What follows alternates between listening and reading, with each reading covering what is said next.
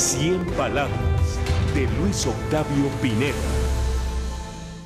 Legisladores de Chiapas son entre los que más ganan y menos trabajan es el sueldo de las y los diputados en Chiapas, que durante el año pasado fue 10 veces mayor a lo que recibieron sus similares en Coahuila y Baja California Sur. Sin embargo, Chiapas se colocó como uno de los menos productivos respecto a iniciativas, leyes y decretos, así como sesiones celebradas. El INEGI, en la presentación de su tercer Censo Nacional de Poderes Legislativos Estatales, basado en datos del 2018, informó que las y los diputados de Chiapas se encuentran en el quinto lugar nacional entre los que más ganan, pero es el antepenúltimo en tema de iniciativas y proposiciones con puntos de acuerdos. Dicho censo detalla que el Congreso Estatal en el 2018 ejerció un recurso de 295 millones de pesos, pero le fueron autorizados 283, una diferencia en gasto